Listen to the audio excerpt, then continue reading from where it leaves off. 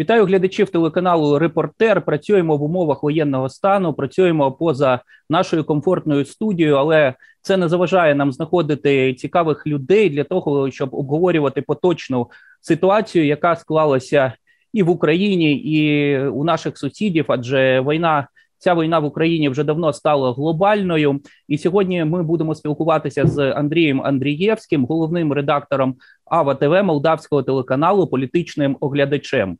Здравствуйте, Андрей. Приветствую вас. Вот те теракты, которые уже не первую неделю обговариваются в Приднестровье, по вашему мнению, что это было? Ваш президент Майя Санду сказала, что это какие-то внутренние разборки, внутренняя группировка в Приднестровье. Российская Федерация и э, власти самой непризнанной республики говорят, что это провокация со стороны Украины. Украина говорит, что это провокация со стороны России, но это как бы понятно. Но вот такая осторожная позиция Майи Санду, чем она обоснована? Ну, а Майя Санду, наш президент, она вообще, в принципе, осторожная всегда во всех вопросах. И иногда это плохо, в данном случае, наверное, это скорее плохо, потому что она немножко выпадает из э, общеевропейского мейнстрима, течения вот этого, которое поддерживает Украину и осуждает Россию, потому что она, она как бы вроде все это делает, но с задержкой, как будто вот отстает.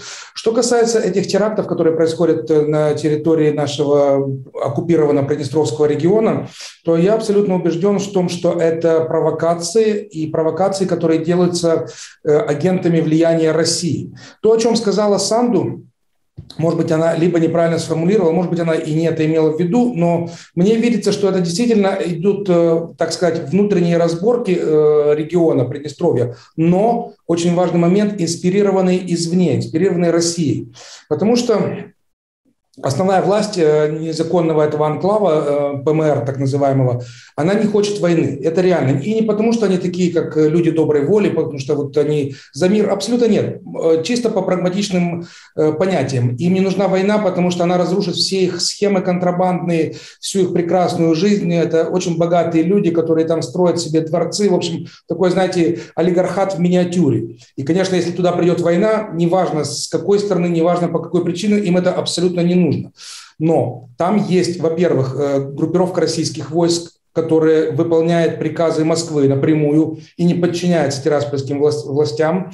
И, во-вторых, там есть такая система, вот это было что-то наподобие в Украине, в Крыму до аннексии, когда э, приличная часть, большая часть от офицеров спецслужб работали одновременно на Москву, получали оттуда зарплаты. Вот в Приднестровье такая же история. В местном МГБ есть э, прослойка людей, которые э, работают одновременно и на Москву, и, в общем-то, их основной работодатель – это Москва.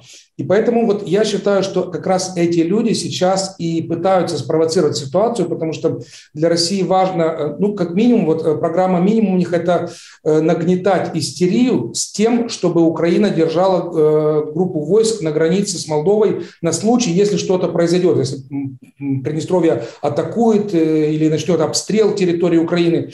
Из этого ваша э, армия держит там, э, по-моему, я боюсь ошибиться сейчас по, по численности, не буду говорить тогда.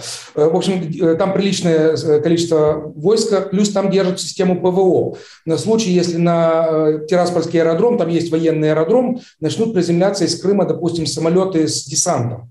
И вот это оттягивание сил, которого они уже добились. Вот с помощью этого, вот то, что они нагнетают, что скоро тут начнется война и так далее.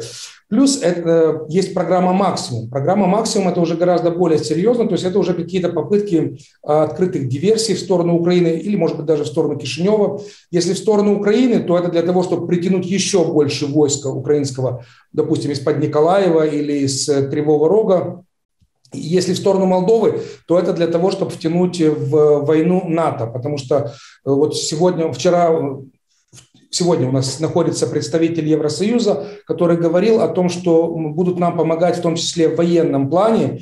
И, в общем-то, у нас есть договор с Румынией о военной помощи, поэтому есть вероятность, если попытается российская армия из Приднестровья, допустим, двинуться на Кишинев, а это вполне реально, потому что по численности солдат у нас примерно паритет с ними, а по оружию они даже нас э, посильнее будут.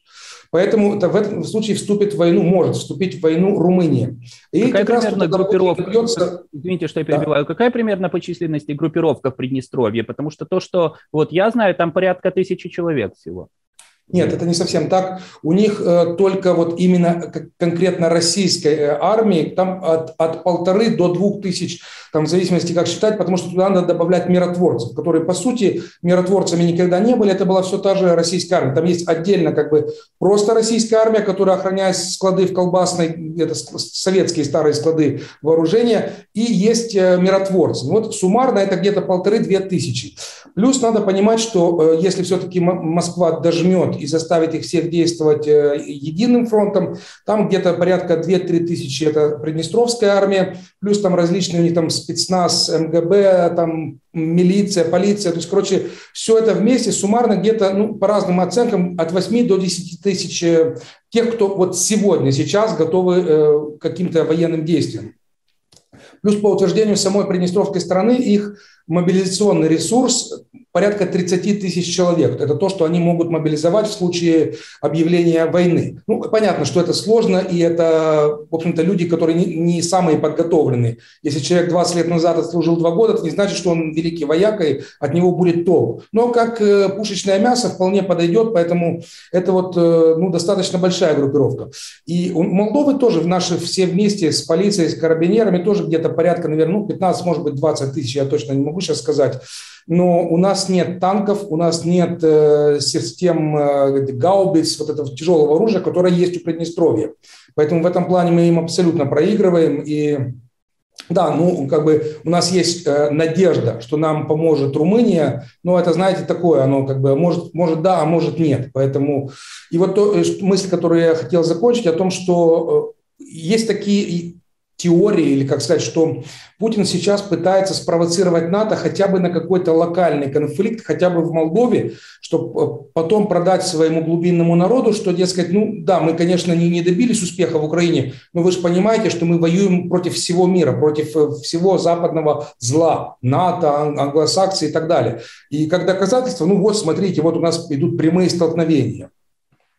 Э, мы знаем, что вот э, вторая э, фаза так называемой спецоперации, которую российский агрессор проводит в Украине, одна вот из ее целей – это выход как раз на Приднестровье через юг Украины, захват в том числе нашей Одесской области. Вот насколько в молдавском обществе ощущается угроза втягивание Молдавии как раз вот в эту полномасштабную уже войну с Российской Федерацией. Насколько вот психологически люди вот воспринимают такой момент? воспринимают в основном, ну, так, с существенной долей тревоги, потому что у нас даже, я знаю, многие люди, э, кто-то уже планирует уехать в Европу, кто-то просчитывает такие варианты, а если вот начнется, чтобы хотя бы семью отправить, то есть как бы, ну, воспринимают это более-менее серьезно. Но надо понимать, что у нас наше общество примерно такое по структуре, как было украинское общество до 2014 года. То есть у нас примерно 50 на 50, ну, может быть, 60 на 40. 60 – это сторонники европейского пути, 40 – это сторонники ну, не то чтобы дружбы с, Россией, потому что сейчас уже как-то об этом даже, даже вот самые упоротые сторонники уже как-то прямо не говорят, вот, дружба с Россией. Но, как они говорят, удержание каких-то нейтральных, хороших отношений. Вот та группа, которая такая пророссийская, латентная, то она вот, э, ну, они проводят всю ту же риторику, которую они э, проводили все прошлые годы, что невозможно, чтобы Россия на кого-то нападала, Россия не агрессор, Россия никогда не нападает, Россия не бомбит. Поэтому э, они это как бы продолжают эту тему, когда вот, например, я говорю о том, что угроза очень серьезная, надо относиться к этому реально, и э, уроки Украины надо учить. Ну, они продолжают свою эту песню, что да нет, да ну, ну вот как бы вот Путин вынужден был вторгнуться в Украину, но Молдова-то ему ничем не угрожает.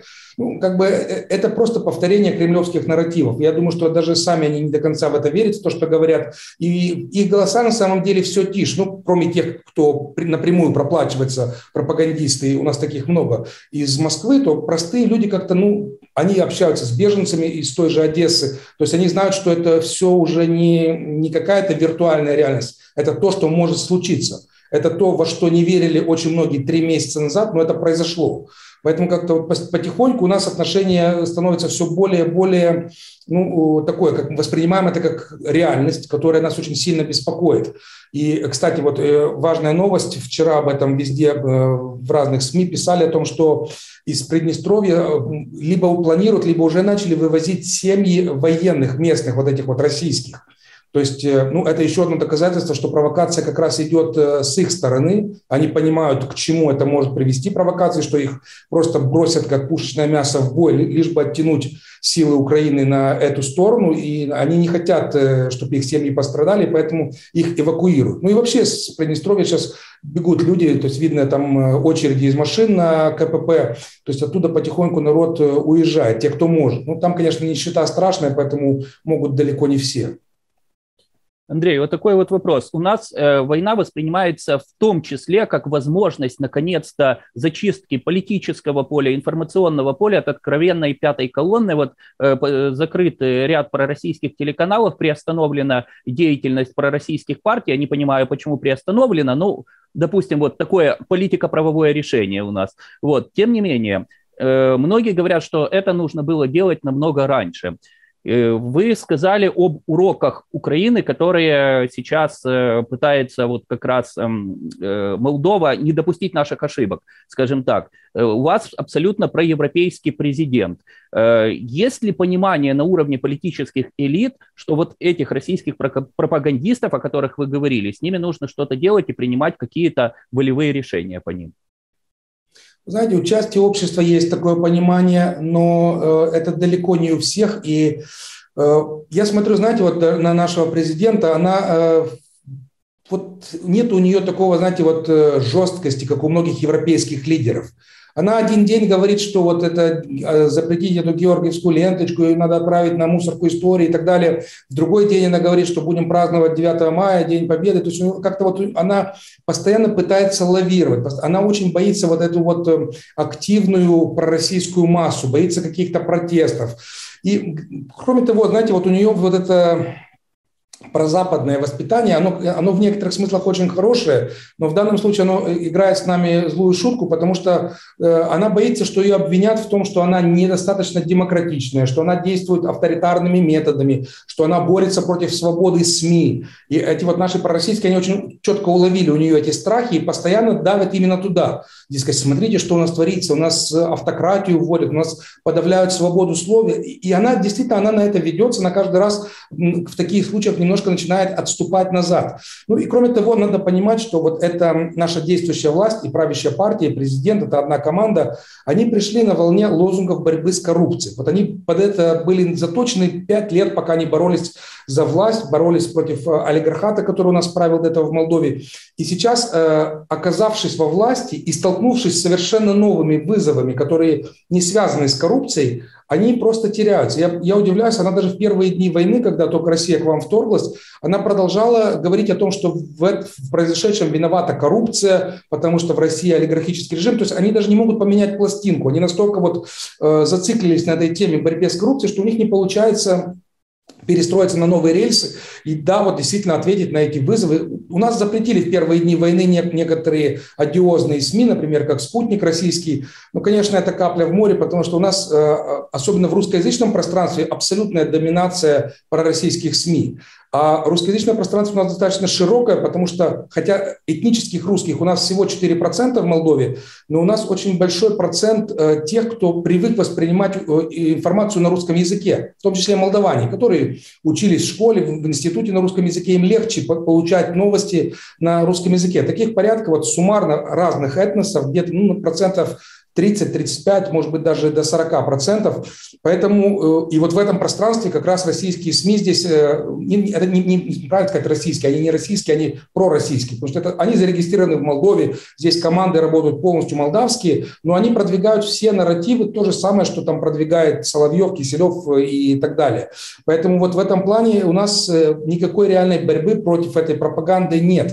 Пытаются какие-то делают шаги, что-то вот там, ну, запретили у нас, слава богу, хотя бы российские вот эти программы, то есть это у нас запрещено. Это как бы большой шаг, но наши местные пропагандисты уже зачастую переплевывают своих коллег из Москвы по своей оголтелости, озверелости и да, они, конечно, не призывают прямо бомбить Брюссель, Киев и так далее, как делали там в студиях федеральных каналов, но более так утонченно, но они продвигают принципе, все то же самое, всю ту же повестку, высмеивают э, Запад, высмеивают Украину. То есть, ну, практически это все, та же пропаганда, только в профиль. Никакой разницы.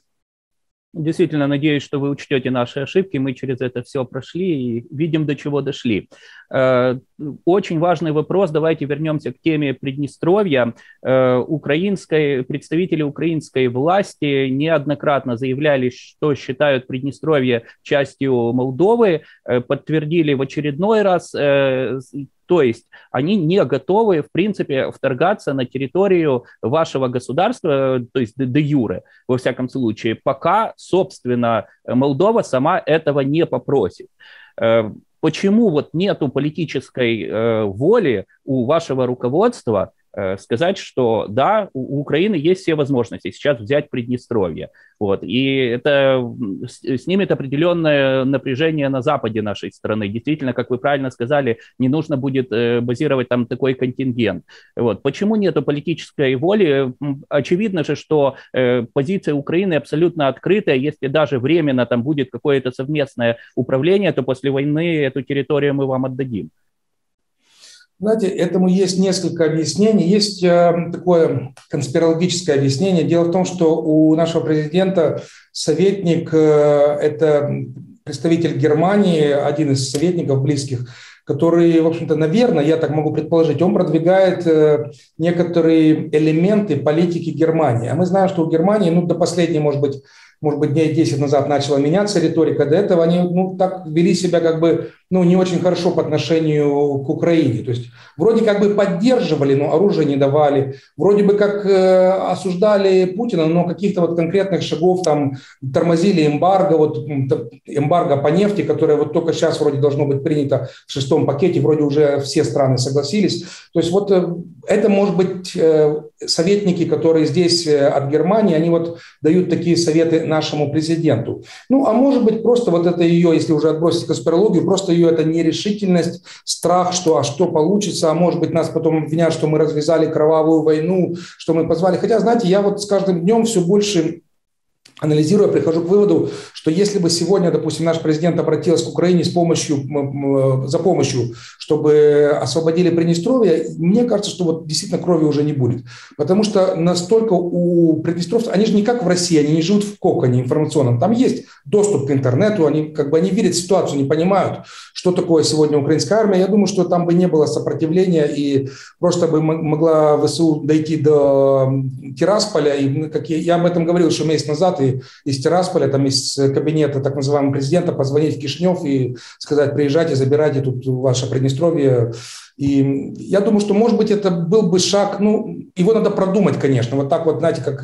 Но, с другой стороны, Сейчас, знаете, такое время, когда, если, если это нормальная власть, она должна была об этом начать думать с первого дня войны, потому что у нас под боком российская армия, Россия ведет агрессорскую войну, и мы как бы вот пытаемся делать вид, что нет, армии нет, ничего не происходит, все нормально. Ну, это, это немножко нездоровая позиция, поэтому я э, часто говорю в своих эфирах о том, что, ну, как минимум, как минимум, нам надо заключить сейчас какой-то договор, с, э, попытаться с Румынией и с Украиной о том, что э, в случае вот продолжения этих провокаций со стороны Приднестровья, чтобы нам оказали поддержку для того, чтобы освободить этот регион, либо оказать какое-то давление, потому что мы, в принципе, можем легко заблокировать и вынудить их самих быстро пересмотреть свои отношения, потому что у них нет границ ни с кем, кроме как с нами и с вами.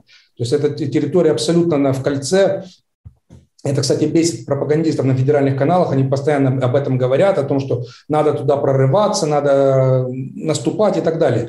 Поэтому э, ну, проблема в том, что я не вижу даже попытки решать этот вопрос. Я не знаю, может быть, где-то там в каких-то кабинетах шепотом, чтобы никто, не дай бог, не узнал, они пытаются что-то анализировать, что-то продумать, какие-то план А, план Б, план С, но в публичном пространстве вообще ничего нет. Ну вот сегодня наша делегация во главе со спикером парламента находится в Киеве. Эм, ну, я надеюсь, что это не просто так, что, может быть, будут какие-то вопросы решаться, потому что все-таки у нас парламентская республика, и формально э, спикер парламента – это первое лицо в государстве. Ну, э, как бы по популярности, по влиянию, конечно, у нас президент сейчас более влиятельный, но чисто с точки зрения рычагов, то, конечно, спикер, наверное, на первом месте. И, э, то есть этот визит я считаю очень важным, и по моей информации, вот буквально на днях, завтра, послезавтра, может, будет ответный визит. Я не знаю состав украинской делегации, но там будут депутаты Верховной Рады. И я предполагаю, что в эти дни это не может быть разговор о каких-то абстрактных там дружба, развития взаимоотношений, культурного обмена и прочее бла-бла-бла, идет война. Поэтому я надеюсь, что будут какие-то ну, более конкретные решения, которые будут касаться нашей и вашей безопасности. Ну, во что это выльется практически, ну, посмотрим. Вот, ну, я надеюсь, сегодня будет пресс-конференция по итогам визита в Киев. Может быть, что-то мы из этого узнаем. Но пока, пока ничего не слышно. То есть, насколько я понимаю, что в принципе какие-то шансы существуют, да, что будет э, достигнута единая позиция по Приднестровью Украины и Молдовы, но это не дело вот самой ближайшей перспективы. Вы знаете, если бы зависело только от наших властей, я боюсь, что никаких шансов бы не было, потому что, повторяю, они крайне нерешительные и вообще боятся любые движения, боятся постоянно какого-то нагнетания. Ну, э, э, в этом виноваты наши пророссийские медиа, которые настолько приучили всех, что, не дай бог, кто-то просто посмотрит косо в сторону России, его заклеймят и выйдут протесты и так далее. Вот они сейчас на 9 мая готовят провокации, несмотря на запрет георгиевских ленточек, они обещали вывести десятки тысяч людей с этими ленточками. Поэтому наши власти боятся, и вот если только от них зависело, я думаю, чтобы ничего не произошло. Но с другой стороны, я знаю, что на них имеет большое влияние э, Запад в целом, как Брюссель, э, э, Берлин, э, Вашингтон. То есть вот я надеюсь, что будет именно оттуда давление, но не просто давление делать делай, как мы говорим. А давление с точки зрения, что, ребята, мы действуем все вместе. Мы сейчас, э, вся цивилизация находится в одной лодке, мы боремся против антицивилизации. Поэтому, если вы хотите плыть с нами, значит, плывите, вот ваше весло, гребите. Мы со своей стороны обещаем вам раз, два, три, четыре, пять, то есть какие-то конкретные шаги. Вот как сегодняшний визит этого эмиссара из Брюсселя, который обещал нам военную поддержку, кибербезопасность, развитие этой тематики. То есть, ну, как бы это уже что-то, это уже какая-то конкретика. То есть, если нам дадут какие-то гарантии того, что последствия не будут негативные для Молдовы, я думаю, тогда появится шанс, что все-таки наша власть на что-то решится. Андрей, я, вам, э, я вас благодарю за интересный эфир. Спасибо, что включились к нам. Спасибо вам. Я нагадаю, що ми сьогодні спілкувалися з Андрієм Андрієвським, головним редактором молдавського телеканалу Ава ТВ, політичним оглядачем. Тримаємося, перемога буде за нами. Залишайтеся з репортером.